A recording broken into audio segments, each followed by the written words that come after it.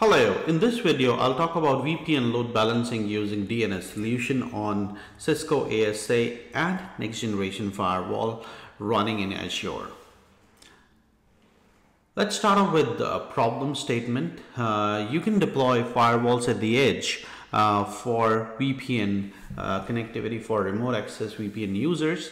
Um, the maximum number of VPN supported on an instance is dependent on uh, instance size that you're using for that firewall. So we have D3 instance which can go up to 750 VPN endpoints and the biggest instance D8 instance which can go up to 10,000 VPN endpoints. So uh, if you have more workloads and more uh, VPN users, uh, you may want to have multiple firewalls. And when you have multiple firewalls, it becomes important for you to load balance your VPN users. Uh, in this particular example, I have two firewalls at the edge and I'm controlling my traffic based on DNS load balancing. So users on the internet will hit a domain name and that domain name resolves to multiple IP addresses and those IP addresses are assigned on the external side of the firewall. In order to maintain symmetry, um, I have a separate IP address pool for each firewall so that I can use my traffic based on Azure UDR and send back traffic to the uh, firewall where VPN user is connected. There is another option. You can pat your inbound traffic on inside interface of the firewall. In that case, you can use same VPN pool on each firewall. But in some cases, if PAT is not a requirement and uh, uh, your admin would like to see real IP address of VPN user, then you may want to go with multiple VPN pools and use uh, routes in the route table to maintain symmetry. And load balancing can be controlled using TTL and you can tweak your TTL as per your requirement.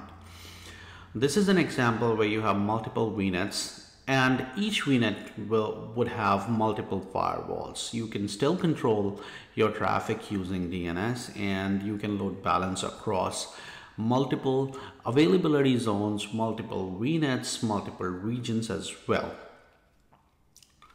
Now let's talk about a quick demo that I'm going to be showcasing today. Uh, in this demo, uh, I don't have a very big setup. I am trying to showcase load balancing of VPN sessions. So what I'm going to do is I'm going to have two firewalls uh, with three interfaces uh, outside, inside, and management interface. Management interface is not shown in this diagram, but it's there only for out-of-band management. Uh, I have a VNet which is 192.168.00 slash 16 and then 2.0 uh, slash 24 is my inside subnet, 1.0 slash 24 is my outside subnet and 0.0 slash 24 is my management subnet. I have a route table which is associated to my outside subnet and default gateway in that route table is first IP address of um, outside subnet which is Azure gateway. Apart from that, uh, firewall 1 has a VPN pool 100.0 slash 24 and VPN pool on second firewall is 200.0 slash 24. Apart from that, I have a route table which is associated to inside subnet and in that route table I have two routes. Uh, route for VPN pool 1 and route for VPN pool 2. So route for VPN pool 1 goes to firewall 1 and route for VPN pool 2 goes to firewall 2.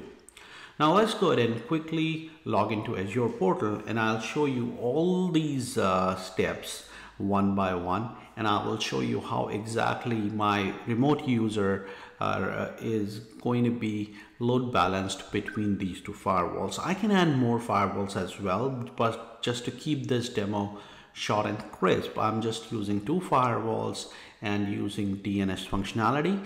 For this particular demo I am using Route 53 because I already have a domain in Route 53 I have added um, two new A records and those two new records A records points to um, uh, the external IPs which are mapped to my ASAs so let's go ahead and uh, log into portal and I will show you how exactly things are configured Okay, I'm now in my Azure portal. I'll show you my resource group first. Uh, this is my resource group where I have all my resources. So I'll start off with uh, my virtual network. Uh, so if you look at this virtual network, uh, I have uh, four subnets, management, DMZ, outside and inside.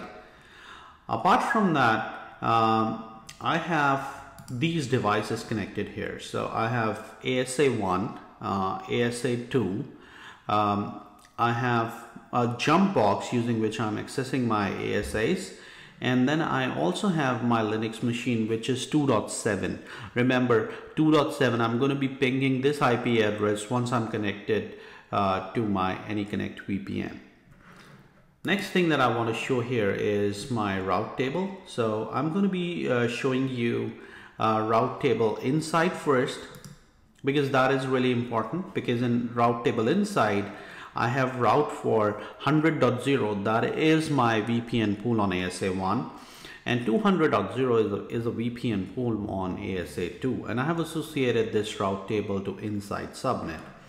Now let's go ahead and look at outside UDR as well. You can look at this UDR. I don't have anything special here. I just have a, a default route that points to internet. I could have used first IP address as well. Uh, but this is what I'm using here in this route table. And then if you look at ASA I have ASA here. So in this in this particular um, um, uh, resource group I can click on networking. It is going to show you my uh, 4 NICs NIC 0 uh, is 0.4 and there is a public IP address uh, on NIC 0 uh, there is a public IP address on NIC1 as well, which is my outside interface. So I'm going to be initiating connection to this uh, public IP address. Now, these are my uh, NSGs. In my NSGs for this demo, I have allowed everything. Ideally, uh, you will allow SSH 443, 80 or ports that you want to allow. You will allow those ports in, in this particular NSG. Uh, so this is what I wanted to show you here uh, and uh, apart from that another important thing is, um, is, is the default route table. So we'll not touch these default route tables. These route tables are there uh, when you deploy ASA I've created uh, um, my route table separately and then attached to those subnets I also have another ASA which is in resource group 2 which is my ASA 2 and in this ASA also I have uh, I public IP address on my uh, NIC 1 which is my outside interface and I'm using similar kind of security group and traffic is allowed on the interface to accept my VPN connection. Apart from that I have uh, this this domain name in Route 53 on AWS. You can use Azure DNS solution as well, but um, since I already have my domain name, I'm using this uh, Route 53 there. So I have created two A records, azure.answamivpn.com and this public IP address is the mapped IP address on my ASA1. The second public IP address is a mapped IP address on ASA2 if you click here you can look at my weighted average. So I'm using weighted routing policy and zero. So it is going to um, uh, uh, distribute load between these two ASAs and I'm using TTL of 60 um, minutes here. So sorry 60 seconds. So I'm going to be showcasing my VPN connectivity now. Before that I will just show you that I have a continuous ping running for 192.168.2.7 um, uh, that is my workload running in the cloud. I'm going to be now using my AnyConnect VPN I'll go ahead and connect.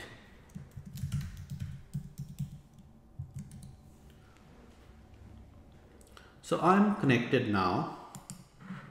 Let's see I'm part of which uh, ASA I'm right now part of ASA1 because I have IP address of 100.0 slash 24 you can look at the pings. Now I'm able to ping my uh, gateway as well. Now I will click disconnect and wait for some time. Let the TTL expire or I can go ahead and clear my DNS cache and then I can reconnect. For uh, some time I'm going to be um, pausing this video and then I will uh, reconvene uh, once my DNS cache is cleared. Okay let's try again. Again. Okay uh, good. You can see that I'm now connected to ASA2 uh, in the description of this video I'm going to be including uh, configuration of ASA1 and ASA2 as well. Uh, but this demo is to showcase how uh, you can go ahead and load balance traffic uh, between multiple to multiple ASAs. Uh, in this demo, I have just used two ASAs. You can have multiple ASAs, multiple availability zones, multiple VNets, and you can scale out your VPN users. I understand uh, during the phase of uh, COVID-19, a lot of companies are uh, promoting work from home and this kind of solution is really required. So um, if you have any question, post your comment. Uh, I'll be actively monitoring my comment. You can subscribe to this channel and I'll be, I'll be answering those questions. And uh, I hope you enjoyed this video. Thank you for watching.